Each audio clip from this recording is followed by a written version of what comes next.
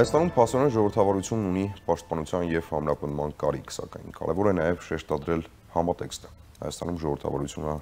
կարծես հակադրվել է ազգային շահերին, այսպիսի տպավորություն է ամեն դեպքում ստեղծվում տարբեր քաղաքական մանիպուլյատիվ նպատակներով ու նկատառումներով ժողովրդավարությունը քաղաքացիականությունն ու ազատությունը հակադրվել են ազգային անվտանգությանը։ Մինչդեռ դրանք Հայաստանի համար պետք է լինեն ոչ թե հակադիր, այլ փոխ լրացնող իրողություններ։ Միաժամանակ այդ հանգամանքը պետք է հաստատվի կենսագործունեությամբ, ոչ թե հռետորաբանությամբ։ Իսկ դա իր հերթին նշանակում է, որ ժողովրդավարությունը պետք է իբրև կենսագործունեության միջոց Հայաստանին բերի թե զարգացման բարեկեցության, թե անվտանգության, պաշտպանվածության նոր մակարդակ։ Գլոբալիզացիայի եւ տարածաշրջանային համագործակցության վերլուծական կենտրոնի նախագահ քաղաքագետ Ստեփան Գրիգորյանի հետ քննարկելու ենք թե ինչ դեր եւ նշանակություն ունի ժողովրդավարությունը մեր պետության կյանքում անչափ շնորհակալ եմ պարոն Գրիգորյան որ ժամանակ գտակ եւ եկաք այսօր Երևանում կայացավ Freedom House-ի կողմից կազմակերպված ժողովրդավարությունը Հայաստանում ֆորումը, որին մասնակցում էին արևմտյան երկրների մի շարք դեսպաններ, այդ թվում է Ամերիկայի Միացյալ Նահանգների դեսպան Լին Թրեյսին, Եվրամիության դեսպանը Անդրեա Վիկտորինը եւ ցավալուն ելույթով հանդես եկավ նաեւ Նիկոլ Փաշինյանը, ով որոշակի հանգամանքներ բերեց դաշտ, ասելով, որ 44-օրյա պատերազմից հետո փաստորեն հենց ժողովրդավարությունն էր, որ թույլ տվեց կայուն պահել պետականությունը, հակառակ դեպքում, եթե չլիներ այդ ժողովրդավարությունը, մենք գուցե կորցնեինք մեր ինքնիշխանությունը։ Ինչ կարևոր, ինչ ինչ նշանակություն ունի ժողովրդավարությունը Հայաստանի համար մեր պետության եւ պետականության այս շրջափուլում ձեր կարծիքով բարև ձեզ, շնորհակալություն հրավերի համար։ Նու այդ մեծ թեմա է, կարող ենք օրերով խոսալ։ Պետք է ասեմ, որ ես էլ հրավիրված եմ այդ միջոցառմանը, ցավոք քանի որ նոր վերադարձա Իտալիայից, շատ կարևոր կոնֆերանսից չկարողացա մասնակցել,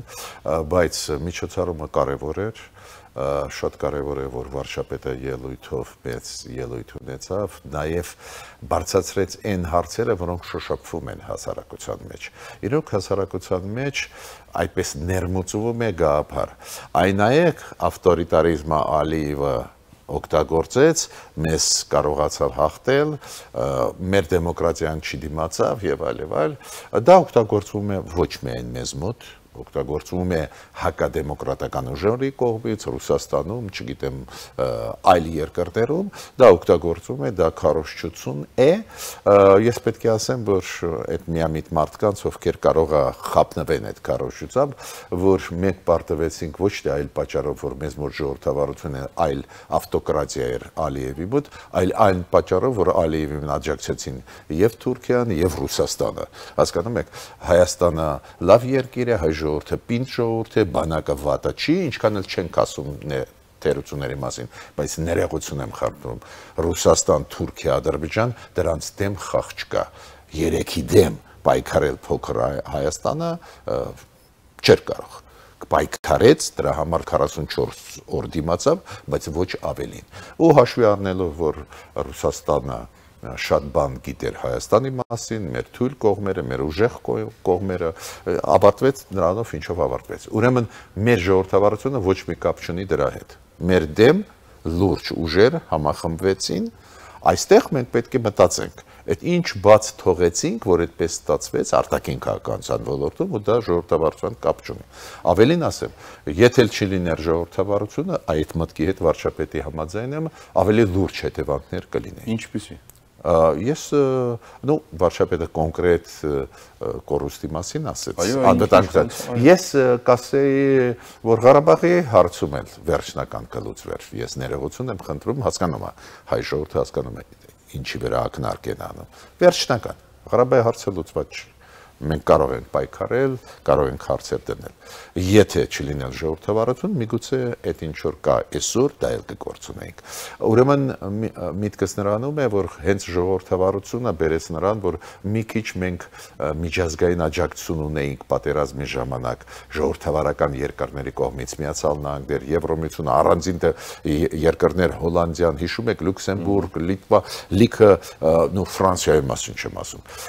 Այդ աջակցությունը եթե չլիներ դիվանագիտական քաղաքական միգուցե էլ ավելի բայց ինչի իրանք մեզ աջակցում են դրա համար որ մեզ մոտ ժողովրդավարություն է որ դա պատերազմ է նաև ժողովրդավարության դեմ ուրեմն ժողովրդավարությունը հակառակը աջակցում է. Ու մյուսը լավ Այդ կամ միամիտ չենք, չէ՞, մենք բոլորս ու մեր հասարակությունը այդ կողմից բավական էլ ջոկող է։ Ադրբեջանը ունի նավթ գազ։ Դա գործոն է, օգտագործում է, կարողանում է։ Մենք ինչ գործոն ունենք։ Օ, մենք ունեինք Ռոբերտ Քոչարյան գործոն, որը Վլադիմիր Պուտինի ընկերներ ու կարող էր համոզել, որ իօքուտ մեզ լուծվեր հարցը։ Ավտորիտար համակարգ, բայց ընկերություն, որը հասկանալի է Վլադիմիր Պուտինին։ Նո, առաջինը, եթե այդ ընկերությունը այդքան պինդ էր, թող Ռոբերտ Քոչարյանը գնալ պատերազմի ժամանակ համոզել, որ իօքուտ մեզ, քանի որ պաշտոնով չի ընկերությունը, իսկական ընկերությունն է։ Պաշտոնով չի Ուրեմն ինքը այսօր պաշտոն պաշտոն չունի, բայց կարող էր պատերազմի ժամանակ առանցին գնալ, առանց համաձայնեցնել ոչ ոքի հետ, ու եթե եթե կարողանար այդ գիծը աշխատեր կլուծեր, բայց չգնաց։ Ուրեմն գիտի որ չէր հասկանում էր որ չի կարող լուծել, քանի որ այլ հանգամանքներ։ Ոստեղ այդ միտքը ես հասկանում եմ, որ իբր եթե լավ լինես Ռուսաստանի հետ, તો ի օգուտ քես, այդ նշանակում է, որ այդ մարդիկ ուղակի չեն հասկանում, որ գլոբալ փոփոխություններ են գնում։ Օրինակ այդ գլոբալ փոփոխությունների այդ գիծը բաժանարար դա ժողովրդավարությունն է ու ավտոկրատիան է օրինակ եմ ասում հասկացաք չէ դա Վլադիմիր Պուտինը չաջակցեց մեզ տարբեր պատճառներով տարբեր պատճառներ կարող են քննադատել, բայց ճաճակցեց ոչ միայն մեկ գործոնի համար, նաև այլ գործոնի համար, որ ստեղ ժողովրդավարությունն է։ Ու ով էլ լիներ այդ բային իշխանությանը, քանի որ նույնիսկ վատ ղեկավարը չէր կարող ջարդել ժողովրդավարությունը Հայաստանում։ Ուրեմն ես կարող եմ շատ ու շատ արգումենտներ բերել, որ որ Ռուսաստանը այնուամենայնիվ այդ քայլերը կաներ, բայց այնուամենայնիվ գլխավորը ուրիշ է Ռուսաստանի շահերը համընկան Թուրքիայի հետ։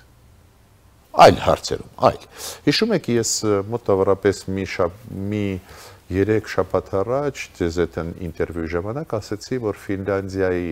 եւ Շվեცիայի անդամակցությունը ժամանակի հարց։ Ժամանակի հարց է, բայց ես ասացի, որ Թուրքիան դեմ կլինի։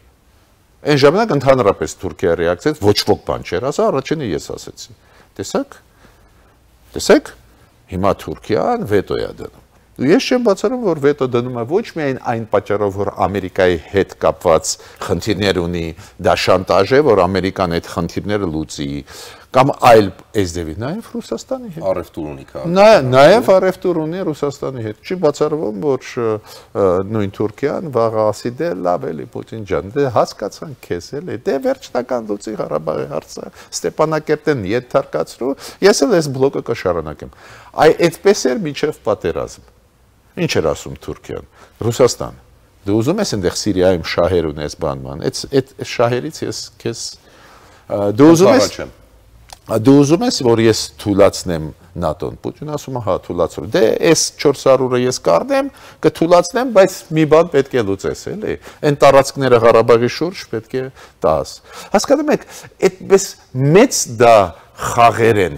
մեծ գործոններ են, որ այն փոքր գործոնը, որ մեզ մոտ ժողովրդավարությունն է ինչ որ դա խանգարեց, այդ փոքր գործոնը համեմատ այս մեծ գործոններից։ Ուրեմն այդ տարածողը ժողովրդավարության դեմ այդ ստերեոտիպները, բաները շատ շատ վտանգավոր գործ են անում հայ ժողովրդի դեմ ուղված։ Ու գիտեք, եթե տարածողները դրսից են, ես հասկանում եմ, հիբրիդային պատերազմ է ամեն օր ինչ որ Ալիևը բան է ասում, մյուսները բաներ են ասում, որ մեզ մոտ անընդհատ լարվածությունը լինի, չէ։ Էրդողանը մեկ ասում է, մեկ Ռուսաստանի տարբեր դեմքեր խոսում են ու մեզ հաճախ դա դուր չի գալիս ու լարվում է վիճակը Հայաստանում բայց որ ներսի մարդիկ այս ձևի բաներ են անում շատ վտանգավոր է դա ապակայունացնում են երկիրը թուլացնում են երկիրը ես ասեցի նոր Իտալիայից վերադարձա 5 թե 6 օր ստեղ չէի միջ երբ որ ես գնում եմ միջիկներ կային բայց չեք պատկերացնում այդ տարբերությունը նորմալ երկրից գալը ու այս լարվածությունը ո՞նց է դիմանալու է ժողովուրդը ո՞նց ենք մենք դիմանալու հիմա դրսից ճնշման մեջ ենք պրոբլեմ այդ արեստական ենք մենք ժողովրդաբար երկիր ենք քաղաքական ուժերը իրավունք ունեն երթեր կազմակերպելու ակցիաներ անելու չգիտեմ, հանրահավաքներ կազմակերպի, իրենց բողոքի ձայնը բարձրացնել։ Օրինակ Լիտվայի նախագահը եկել էր Բաղրամյան 26-ի դիմաց, հենց IT պահին, երբ որ Լիտվայի նախագահը մտնում էր նախագահական նստավայր, ընդդիմադիրները դրսում գոռում էին որոշակի հայտարարություններ ասում էին որոշակի հնչեցնում էին որոշակի գնահատականներ։ Սա հիմա օգտակար է, ըստ թե ոչ, ի վերջո ժողովրդավարություն է, չէ, ցույց տալիս Հայաստանը։ Գիտեք, նորից համաձայն եմ ձեզ հետ, որ ժողովրդավարությունը լավ բան է, պայքարում եմ եւ բայց գիտեք հիբրիդային պատերազմը ինչով է հետագարկիր։ Ապա հիբրիդ այ մարդիկ ասում են, «Այդ ի՞նչ է, որ խոսում են հիբրիդային պատերազմ»։ Օրինակ, պատերազմ մենք միշտ ինչ ենք պատկերացնում։ Տանկերով, զորքերով մեկը մյուսի դեմ դուրս է գալիս։ Կորցանիչները օգտագործում է այն մյուսը արտիլերիան, այ պատերազմը։ Հիբրիդային պատերազմը անպայման չի որ քո դեմ զորքով գնան։ Օրինակ, ինֆորմացիոն ֆեյքերի տարածում, ինֆորմացիոն ներխուժում, քո ինֆորմացիոն դաշտ։ Օրինակ մենք պաշտպանված չենք, չէ՞։ Ինչ զիբիլ կա Ռուսաստանի հերոստալիկներում, նայում է ժողովուրդը։ Ադրբեջանականինն էլ։ Ապրեք։ Չեմ ասում, որ սելեկցիա այդ միտումնավոր անենք եւ այլ եւ այլ, բայց պետք է մտածենք պաշտպանության համար։ Այդ ո՞նց է Գերմանիային Գերմանիայի դեմոկրատական երկիր չկա, եկեք իրար չխափենք։ Շվեցիայից, Նորվեգիայից դու գիտեք, հիմա սահմանապակումներ մտցրեցին։ Սպուտնիկը արգելված է։ Ռաշիթը դե Սպուտնիկ, այո, չէ՞ տալիս։ Բայց ինչի դու կարող ֆորմալ ասել, այդ ի՞նչ է սահմանապակում։ Քանի որ դա ԶԼՄ-ներ չէ, դա ռոպագանդիստական մեխանաներ են։ Ահա։ Ուրեմն ժողովրդավարությունը պահանջում է նաև պաշտպանություն։ Օրինակ, երբ ես ասացի ինֆորմացիոն, հիմա ուրիշ ես տեսնում եմ հիբրիդային պատերազմ, այդ միտինգները օգտագործել հենց ժողովրդավարության դեմ, ինչի մասին մենք ասել ենք, ես իմիջիայլոց լսեցի, որ ինչքան հասկացա վարչապետը այդ միտքը ասեց, չէ, ելույթում, բայց այդ մենք միջև այդ էլ ասում ենք։ Այո, ես այդ համաձայն եմ, որ այնուամենայնիվ պրիմիտիվ սահմանափակում պետք չի մտցնել։ Այս դեմ եմ։ Բայց օրենսդրություն կա, Ստուգեք այդ որտեղ է, այդ որ փողերով այդ մարտիկ։ Հա թող ստուգեն, ինչու չեն ստուգում։ Այդ այդ էս իշխանությունների թույլ կողմն է ու կոչ եմ անում։ Ստուգեք, չէ, գիտեք, բան չեմ ասում։ Մարտիկ զոր ու գիշեր հերոստալիկներով ինչու բան անում են։ Որտեղից են այդ գումարները։ Որտեղից են այդ գումարները։ Նույնիսկ իշխանություն այսօրվա չի կարող իրան թույլ տա, չգիտեմ ինչ որ կանալներ փակել։ Բոլորս գիտեմ ով ով է, ով ինչ է Հայաստանում։ Բոլորս գիտեն, որ այս իշխանությունները հնարավորությունը չունի։ Այս որտեղից այդ մարդկանց հասկանում եք, այ հենց դրա համար է, որ երբ որ ասում են կոռուպցիայի դեմ պետք է պայքարել, որ կոռուպցիոն փողերը այս ձևի հետ չգան։ Մյուսը կներեք, կա քաղաքական մշակույթ։ Օրինակ ընդդիմադիրները միշտ ներկայացնում են ծրագիր, որը ասում են իմը լավն է, սրանցը վատն է։ Դուք ծրագրային բան լսել եք, բացի Մենք ոչ մեկից ծրագրային բան չենք լսում, պարոն Նիկոլ։ Չէ, չէ, ես համաձայն չեմ։ Ես համաձայն չեմ, իշխանությունների հետ չեմ ասում բոլոր հարցերում համաձայն եմ, բայց իշխանությունները ներկայացնում են։ Ու մի հատ հիշեք Նիկոլ Փաշինյանի ելույթները հեղափոխության այդ վերջի փուլում։ Ես հիշում եմ ժամերով ներկայացնում էր կոնցեպտը, ինչի մասին է խոսքը։ Հետի բա գիտեք, հետի թվով իրոք շատ բաներ մոռացվում են, բայց ես հիշում եմ, նույնիսկ ես հիշում եմ, հիշում եք երկու շատ սկզբունքային ինքը ելույթ ունեցավ, մեկը Վանաձորում, մեկը Գյումրիում։ Երկուսում էլ ես մասնակցել եմ, քանի որ Նիկոլ Փաշինյանը ասեց, այնտեղ ես սկզբունքային բաները կասեմ եկա ծրագրեր են ում հետ պետք է աշխատենք, ում չաշխատենք, այն ռեֆորմներ ուրիշ բան է, եթե դուք ասեք բոլորը կատարել են, չէ, բայց այն հիշում եք այդ կապված դատաիրավական համակարգի եւ այլ վեթինգ եւ այլն շատ բաներ կան որ լուրջ որ այնտեղ նաեւ էմոցիոնալ մասը կար այո քննադատող, դատապարտող, բայց եկա կոնցեպտներ էին տալիս, ինչի մասին է խոսքը։ Հիմա դու այդ կոնցեպտը լսում ես, բացի դրանից, որ ուզում են անել, ասենք թրքացում եւ ես այդ միտքը առաջի անգամա որ չեմ ասում, ինչու եմ ասում, կրկնում կարծես թե հասարակ միտք եմ ասում, բայց ես ասում եմ նույնիսկ երբ երբ որ դու դուրս ես գալիս, երբ որ բոկ ես անում, գա փարախոսուն ասա, այդ ինքն նպատակ չի, չէ՞։ Ու մյուսը։ Ասում են դա կեղծ օրակարգ է, պարոն Գրիգորյան։ Գաղափարախոսություն ուզել է իմացերագիր ուզել է կեղծ օրակարգ է թիվ 1 խնդիրը իշխան իշխանապողությունն է Նիկոլ Փաշինյանի հերացումը հետո արդեն կասենք ինչ։ Ահա, այ այդ լոզունգներով պայքարում էր այն նույն մարդիկ, չէ, անցած տարի ընտրությունները անցկացվեցին անցած տարվա հունիսին, ժողովուրդը պատասխան տվեց։ Եվ որ ասում էին ինքը պետք է հերանա, էս չի անում, այն չի անում, դավաճանես եւ այլն, ժողովուրդը պատասխան տվեց։ Այ ժողովրդավարությունը մարդիկ չեն հասկանում, ժողովրդավարությունը նա չի, որ ինչ ուզում ես անում ես, եթե ուզում ես մեկի գլուխը ջարդում ես։ Ոչ, դա ժողովրդավարություն չի, դա հանցագործություն է։ Ժողովրդավարությունը նա է, որ եթե այդ ճգնաժամը մենք չենք կարող լեզու գտնել տարբեր քաղաքական ուժեր, գալիս են ընտրություններով լուծում են։ Լուծվեց մեկ տարի չէ անցել, լուծվեց ընտրություններով լուծվեց մարդիկ։ Ասում եմ Նիկոլ Փաշինյանը չի ասել, որ ընտրությունների ժամանակ ծրագրով չի ներկայացել, որ անկլավների հարց է քննարկվելու, որ այսպես ասենք Արցախի կարգավիճակի սանդղակ է իջեցվելու։ Հիմա ասում է եւ իրավունք չունի, քանի որ չի ասել ընտրությունների ժամանակ, որ ծրագրում նման բան կա, հիմա իրավունք չունի ինքը Հայաստանի անունից եւ անկլավների հարց քննարկել եւ սանդղակի իջեցման հարց քննարկել։ Այդ դեպքում որքանով է լեգիտիմ ընդդիմության Ես ասեմ, Այո, ինձ էլ ինչ որ ման դուր չի գալիս, նորմալ է։ Վաղը չեմ այսօր կլինի իշխանություն, որը ինչ որ թեզեր առաջ կքաշի, հետո երբ որ իրականացումը մանը հասնի, մենք դիտողություն կունենանք։ Ու ես դες ասեմ ուրիշ կոնտեքստով։ Նիկոլ Փաշինյանը իրոք այդ կամպանիայի ժամանակ նախընտրական այդ ընտրությունները հիշում եք ասում էր մենք կգնանք խաղաղություն հաստատելու մենք ուզում ենք խաղաղությունը պնդում եմ, որ այսօր էլ մեծ մասը ժողովրդի դրա կողմնակիցն է։ Ուրիշ բան է, այդ դուք լավ ասեք, այն նյուանսները, ասենք սահմանակը իջեցնելու իմիջալոց ես ես ասեմ դա չգիտեմ որքանով է նյուանս եթե ոչ չափազանց կարևոր բան դուք գիտեք ես նյուանսը օրինակ չգիտեմ Երևան քաղաքի անունը փոխելը կլիներ նյուանս ընտրությունների ծրագրում օրինակի համար եմ ասում կամ հիմնը փոխելը բայց սանդղակի իջեցումը որքանով է դուք ճիշտ եք ասում բայց ստեղ էլ ես բացատրություն ունեմ իշխանությունները պարտավոր է բացել փակագծերը, որ այս ձևի հարցեր չառաջանան։ Ինձ մոտ էլ առաջացավ հարց,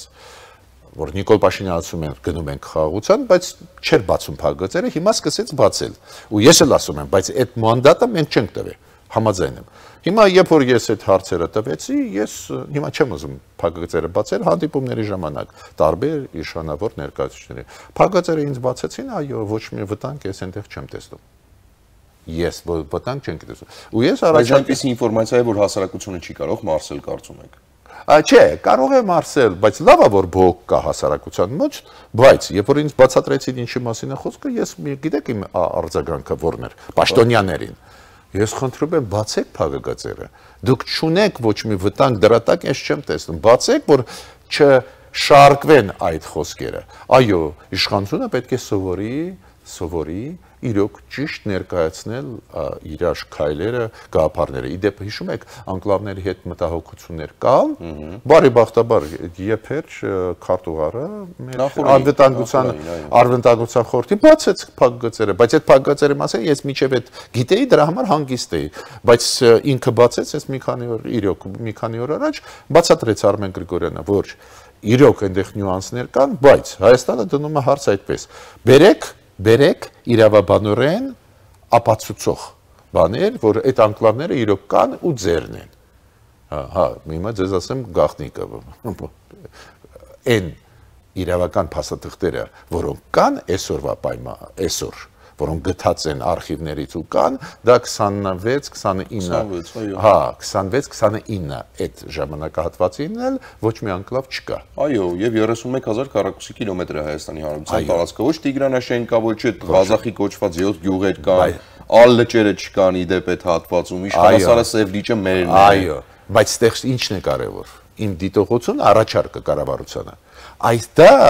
ակնարկներով պետք չի ասել բացեք որ այնտեղ վտանգ չկա։ Հիմա իշխանությունը միջև այդ զգուշավոր հիշում եք ասեց, որ այո, անկլավների հարցը կա, մենք մտածում ենք, ինչը աղմուկ բարձրացրեց։ Բայց երբ որ մենք որպես փորձագետներս հանդիպեցինք ու այդ հարցերը դրեցինք, մտահոգված լինելով, ստացանք, ստացանք սպարիչ պատասխան։ Այստեղ ես ձեզ համաձայն եմ, դիտողություն պետք է արվի իշխանությունների, որ բացի պագգծերը։ Տեսակ չէ, դա չի նշանակում, որ հեշտ կանցնեն բանակցությունները Ադրբեջանը տարբեր ձևերով ամեն ինչ անելու է որ ստանա դրանք։ Ա, չէ, բայց տարբեր ձևերով իրականացնում է դա։ Օրինակ, Ադրբեջանը ասում է, չէ, ինչի պետք է միջամտի Եվրոպան, ինչի պետք է միջամտի Ամերիկան, քանի որ Ամերիկան Եվրոպա կպահանջեն իրավական հիմք, ինքը ասում է, չէ, Ռուսաստանի հետ։ Ռուսաստանը է, այնտեղ կաշառք կտան առանց հիմքի կլուծեն, բայց այն, որ իշխանությունը ճիշտ է հասկանում, որն է ճիշտ է, այդ է ինձ համար գլխավորը, հասկանում եք, չէ՞։ Իսկ դրան հասնելու ճանապարհներն ինչպիսին են։ Դուք վստահ եք, որ իրենք կարողանալու են պնդել իրենց ճիշտ ուղու ճանապարհ ու գնան այդ ճանապարհով իշխանան։ Նու ստեղ բարձա, ստեղ բարձա, ոչ թե ինձ պետք է տակ այդ հարցը ավելի ճիշտ պետք է։ Չէ, ձեր դիտարկումն է։ Բայց իմ դիտարկումը գիտեք որն է, որ վերջի ժամանակներս ես տեսնում եմ շատ դրական տենդենսներ, Դες իշխանությունները հասկանում են, որ դու պետք է այդ շրջապակումից դիվանագիտական եւ քաղաքական պետք է դուրս գաս։ Քանի որ մենք մենք շրջապատված ենք ոչ ոչ միայն ֆիզիկապես Ադրբեջանով, Թուրքիայով, նաև դիվանագիտական բլոկի մեջ ենք։ Գիտեք, կ ូវ իդ էր, կ ូវ իդ Հիմա օբյեկտիվ աշխարհը բաժանվեց մասերի։ Հիմա նոր նոր դուրս են գալիս ու դա պետք է ակտիվ օգտագործեն, որ այդ դիվանագիտական քաղաքական այդ փակված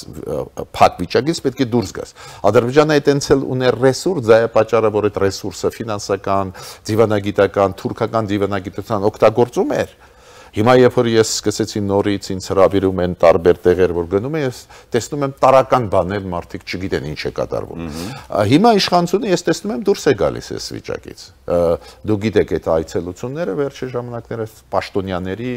ոչ միայն վարչապետի, արտգործնախարարի եւ Արմեն Գրիգորյան, այլ պաշտոնյաների տարբեր հարցերով աշխարհի հետ հետո ստեղ անընդհատ պատվիրակություններ են Ուրեմն ես տեսնում եմ, որ հասկաց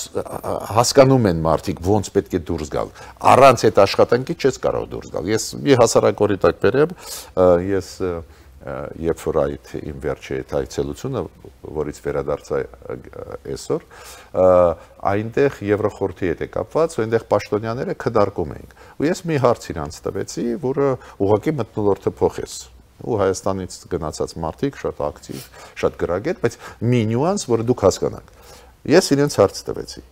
Դուք լուծում եք Արաբիայի հարցը, թե ոչ։ Ոչ այդ ձեր ֆունկցիայի մեջ չի կամ Աբխազիայի կարծը կամ մյուսը բայց Եվրոխորհրդի ֆունկցիայի մեջ է մտնում մարդու իրավունքների պաշտպանությունը մարդու կյանքի իրավունքի պաշտպանությունը մարդու ժառանգության ասենք հայերի ժառանգության Լեռնային Ղարաբաղում կամ աբխազների ժառանգության կամ մյուս ազգերի վրացիների ժառանգության Վրաստանում հայերի Հայաստանում հարգանքը մարդու իրավունքների դա ունիվերսալ է տարածվում է ամբողջ Եվրոխորհրդի տարածք մենք Ադրբեջանը, Վրաստանը Եվրոխորհրդի տարածքի մեջ ենք։ Ուրեմն բոլոր հատվածներին պետք է տարածվի։ Այս ո՞նց է Ղարաբաղի հայերի մասին ես բան չեմ լսում։ Ու խառնավեցին լավ իմաստով։ Իրանք ասում չէ, չէ, մենք հարգում ենք բոլորի, ուղղակի նյուանսներ կան, մենք պատրաստ ենք քննարկել։ Հասկանում եք, եթե դուք ակտիվ աշխատում եք, ավտոմատ փոխվում է իրավիճակը։ Գիտեք, երբ որ մարդիկ նստած են, հիմա Ադրբեջանից գալիս են, գիտեք ինչ է ասում։ Ինչ։ Դե լավ էլի, դե բրծեք էլի, բրծեք էլի։ Փակեք այդ թեման։ Հա, փակեք էլի, այնտեղ հայր ապրում են, հայկական անձնագրերով ապրում են, դե թող դուրս կամ խի մտան գրավեցին մեր տարածքները նստած են։ Չէ, լուրջ բաներ եմ ձեզ ասում։ Ու այդ եվրոպացին ասում է լավ էլի, լավ ժողովուրդ ենք, մենք գիտենք մեծ մշակույթ, հին ժողովուրդ, բան, քրիստոնյա, բան։ Կոմպլիմենտ մի ժամ ասում, այդ վերջում ասում, բայց խի գնացի գրավեցիք էլի։ Ասացի, չհասկացա ինչ։ Դե խի գնացիք հիմա այդ Ադրբեջանի տարածքը պետք է ձեզ բանան։ Ասացի, բայց դու գիտեք, որ հայերը այնտեղ ավտոխրոն են, որ այնտեղ 4-րդ դարի եկեղեցի կա 4-րդ դարից սկսած մինչև 19-րդ դար, բան հասկանում եք, մենք մտածում ենք, որ մենք գտնվում ենք 90-ական թվերին, երբ որ մեծ աշխատանք տարվեց, մի քիչ որ աշխարհը իմանա ինչ է կատարվում։ Կամով է հայ առհասարակ արծախ։ Հա, Հիմա պատկերացնում եք նոր սերունդներ գալիս են քաղաքական գործիչների, բաների ամբողջ Եվրոպայով։ Այսինքն մենք տեղեկատվական աշխատանքը այնքան թերի ենք Եվրոպայի հետ տարել, որ եվրոպացիները չեն պատկերացնում, թե ինչքան արմատավորված ենք մենք այստեղ եւ որ արմատների հաշվին պիտի իրավունքների պաշտպանությունը տեղի ունենա։ Ուղղակի հակառակը մենք ենք ավտոխրոնը, Ղարաբաղում ավտոխրոն։ Տես ժողովուրդը, որ այնտեղ ապրել է հազարամյակներով, հայերն են, ոչ թե ադրբեջանցիք։ Այսինքն եվրոպացի պաշտոնյաները խոշոր հաշվով դա չգիտեն։ Շատերը, չէ, չէ։ Կարող է ինչ որ մեկը կաշառված է չի ուզում ձևա տալիս, բայց մեծ մասը ազնիվ սկզբունքային մարդիկ մեծ մասը ուղղակի չգիտի։ Ուղղակի չգիտի, դե քանի որ խնդիրն է, որ չենք աշխատել հետեր, էլի։ Ну, ես կասեի այդպես, հիմա ակտիվացում գնում է, ես դա գնահատում եմ, ուղղակի նույնիսկ չեմ ուզում հիմա հետ գնալ, ասել, այդ չէ կարե, այն չէ կարե։ Հիմա աշխատանք գնում է, պետք է աջակցենք, որ առաջինը ինֆորմացիա իմանալ։ Իմիջալոց նորից կրկնում եմ Արարատ Միրզյանի Տուրինում ելույթը դա նորից այն նույն Եվրոխորհրդի, բայց արգորդ նախարարների խորհուրդներ, ամենաբարձր մարմինն է դա, նրա ելույթը շատ լավն էր։ Մանրամասն, այո, ինքը նորից կրկնեց, մենք ուզում խաղաղություն, պատրաստ ենք եւ այլ եւ այլ, բայց ո՞նց կարաս չհարգելով իրավունքները հայերի Լեռնային Ղարաբաղում լուծել հարցը։ Ոնց կարախ չհարգես Մինսկի խմբի մեծ աշխատանքը կատարած եւ այլն, հիմա ես չեմ ուզում կրկնել։ Շատ բարի, բայց իդեպ Արարատ Միրզոյանի ամերիկյան այցի մասով որոշ փորձագետներ ասում էին, որ դա խոշոր ֆիասկո էր, որովհետեւ հայերը չեն խոսել Արցախի ինքնորոշման իրավունքի մասին, այն դեպքում, երբ որ ամերիկացիք են դրա մասին խոսել, ինչու Արարատ Միրզոյանը չի բարձրացրել այդ հարցը ԱՄՆ-ը։ Նու Եվրոխորհրդում ամերիկացի չկա։ Չէ, չէ, չէ, չէ։ Ես խոսում եմ արտգործնախարարի այլ այցերի մասին եւս որ սա շատ կարևոր այց էր Ամերիկայի Միացյալ Նահանգների 30-ամյա դիվանագիտական հարաբերությունների հաստատման մասով, որի ժամանակ կնքվեց ռազմական երկխոսության հայտնի փաստաթուղթը եւ մի շարք դրույթներ տային կարևոր Հայաստանի համար քաղաքացիական միջուկին վերաբերվող եւ այլն եւ այլն ծրագրերի, բայց որոշ փորձագետներ ասում էին, որ դա փուստ կրակված փամփուշտ։ Հիմա ես ուզում եմ ասել, գիտեք, մի բան։ Եթե չես ուզում տեսնել կառավարության դրական մասը աշխատանքի բացասական շատ կարող ես տեսնել։ Շատ դա։ Գիտեք, եթե ցանկություն չունեն մարդիկ աջակցել, բոլորի մասին չի խոսքը, բայց մի մասը նույնիսկ նույնիսկ օտար երկրի պատվերն են ստեղ կատարում։ Բոլորի մասին չի խոսքը։ Կան մարդիկ շատ ազնիվ սկզբունքային համաձայն չեն այս կառավարությամբ։ Ես այդ կարծիքների մասին չեմ խոսում։ Բայց ես տեսնում եմ, որ մեծ թվով կան ովքեր ազդեցության տակ են, ինչ որ դրսի ուժերի ու դրա համար չեն էլ ուզում տեսնել այն դրականը այդ դրական։ Այդ շատ վտանգավոր է։ Հա կան մարդիկ, որ այս իշխանությունների վարածքականություն դուրս չգալիս։ Դա ես համարում նորմալ, բայց ցավում եմ, որ մեզ մոտ դրսից ղեկավարվող եւ ուժեր կան եւ մարդիկ կան, ովքեր գիտեք չեն ուզում երկխոսան մեջ մտնել, չեն ուզում տեսնել այն դրականը, որը կատարվում են։ Նույնիսկ բացասականը, գիտեք, երբ որ հարվածում են ոչ թե նպատակով, որ կառավարությունը շտկի իր սխալը եթե արեց, ինչը նորմալ է ոչ ոք իդեալական չի, իրար չխափենք, էլ մենք էլ իդեալական չենք, ինչքան էլ չենք համարում, որ խելոք ենք, հա։ Բայց եթե ինքը նույնիսկ քննադատելով ուզում է սպանի, ոչնչացնի, այլ ոչ թե քննադատի, ոչ փոխի քաղաքականությունը, կներեք, էլի այ դա է կոչվում հիբրիդային պատերազմ դեմոկրատիայի դեմ։ Շատ լավ, պարոն Գրիգորյան, վերադառնալով ժողովրդավարությանը, տեսեք, Հայաստանում խոսույթը այս առումով բաժանում է երկու հավասար մասի կարծես, մենք այսօր քիչ առաջ պատգամավոր Արման Եղոյանի հետ էլ էինք քննարկում եւ ես մեր բոլոր գիտակ բանախոսների մոտ այս հարցը բարձրացնում եմ, արդյոք Երևանի փողոցներում տեղի ունենում քաղաքակրթական բախում, ինչպես օրինակ տեղի ունենում քաղաքակրթական բախում Ուկրաինայում։ Ինչու եմ ասում քաղաքակրթական կա ռուսական մոտեցում, որ դեմոկրատիան, լիբերալ դեմոկրատական թևը Ամերիկայի Միացյալ Նահանգների դոմինանտությունը եւ հեգեմոնիան ապա աշխարհում ապահովելու միջոց եւ գործիք է, որովհետեւ դեմոկրատիայի շոշոփի տակ մտել են տարբեր պետություններ, պատերազմներ են հրահարել, հաղթել են իրենց ցանկացած ռեժիմներն են բերել Եվ ռուսական կողմը շոշափում է, որ այդ դեմոկրատիա, լիբերալ դեմոկրատական արժեքները, այդ սորոսականներ եւ այլններ, միջազգային կազմակերպություններ, որոնք գործակալական ցանցեր են ներդրում, հետո իշխանության են բերում իրենց ցանկացած մարդկանց, հակադրում են ազգային արժեքներին եւ պահպանողականությանը, որը օրինակ մեկ Ռուսաստանի Դաշնությունը կամ Չինաստանը ներկայացնում են որպես հիմնավոր ազգային պետական շահերը պահպանող եւ պաշտպանող արժեհամակարգ այս պահին դուք Երևանի փողոցներում քաղաքակրթական նման բախում տեսնում եք թե ոչ եւ արդյոք ժողովրդավարությունն է այն գործիք Հայաստանում որ պահպանում է ինքնիշխանությունը եւ պետականությունը որպես այդպեսին Հայաստանում նու միանշանակ մեր ավելի ազատ քաղաքական համակարգը պետական պահպանում է իրավիճակը միանշանակ եթե դա չլիներ անկեղծ ես ասեմ ոնց որ Բելարուսում Ռուսաստանը կուլ տվեց Բելարուսին։ Իրար չխապեն։ Շատերը դե Բելարուս կա, հա, բան Լուկաշենկոն բան մանևրում է, ոչ մի բան չի մանևրում։ Բելարուսը ռեալ հիմա Ռուսաստանի կազմի մեջ է, իրար պետք չի խապել, հեքիաթ պատմել, բոլորը գիտեն, որ Լուկաշենկոն լեգիտիմ չի, նաև Պուտինը գիտի եւ այլ եւ այլ։ Ինչու կարողացավ կլանել Ռուսաստանը Բելարուսին։ Ինչի կարողացավ Բելարուսի տարածքից հարվածել Ուկրաինային զորք մտցնել։ Կլանեց։ Ռուսաստանը կարող է ուրիշ պետությունների տարածքից զորք մտցնի այլ պետություն, չի կարող։ Դե քո սեփական տարածքը առնվազն պիտի լինի, որ կարող է։ Այո, ուրեմն ուրեմն մենք տեսնում ենք, եթե քո մոտ ժողովրդավարություն չկա, ավտորիտարիա է, ոչ լեգիտիմ իշխանություն, Ռուսաստանը կլանում է։ Հայաստանում դա փրկեց, որ չկլանել, ազատություններ կան։ Հիմա ինչ վերաբերում է պայքարի, իրոք դուք ճիշտ եք, քաղաքակրթական բախում կա, massամբ ստեղ է արտահայտվում դա, massամբ, բայց կա ու գիտեք բաժանարար գծեր, այ շատերը ասում են, այ աշխարհը փոխվում է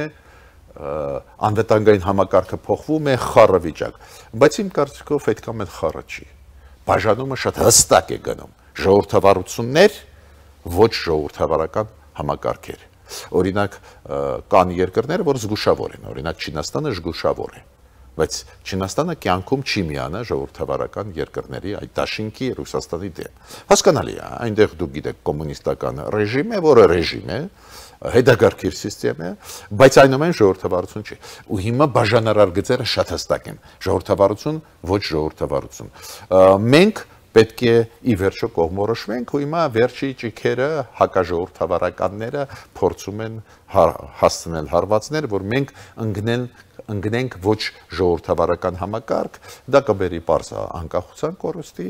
սուվերենության ել ավելի կորուստի մեծ ու པարզա Ղարաբաղի կորուստի կբերի միանշանակ, քանի որ եթե ժողովրդավարական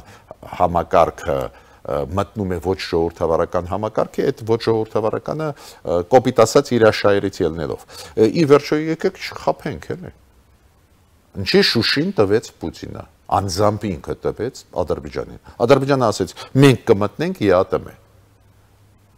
Հետո խափեց, բայց այն ժամանակ ասեց ու արանքում ինքը ասեց չէ, Շուշին էլ ամեն ինչ կանենք, որ դուք վերցնեք, ու ամեն ինչ արեցին, վերցրեցին, բայց հետո փոխվեց իր դրությունը հիմա Ռուսաստանի միջոց պահանջում է որ Ադրբեջանը բայց Ռուսաստանի վիճակը այնպեսին չի որ ինքը ինչ որ մեկից հիմա բան պահանջ Այո, ճիշտ եք, բայց Ադրբեջանը դա օգտագործեց։ Եթե պատերազմ չսկսել Ուկրաինան, հիմա ճնշումը կգնալ Ադրբեջանին, որ մտնի գոնե դիտորդ դառնա հապկում։ Նորից հիմա քննարկվում է դա Ռուսաստանը ասում է, ո՞նց է չես անում։ Ինչ եմ ուզում ասել։ Տեսակ ավտոկրատիաները չեն հենվում սկզբունքների վրա։ Դրա համար կոպիտ ասած Լեռնային Ղարաբաղը բաժանեցին իրար մեջ։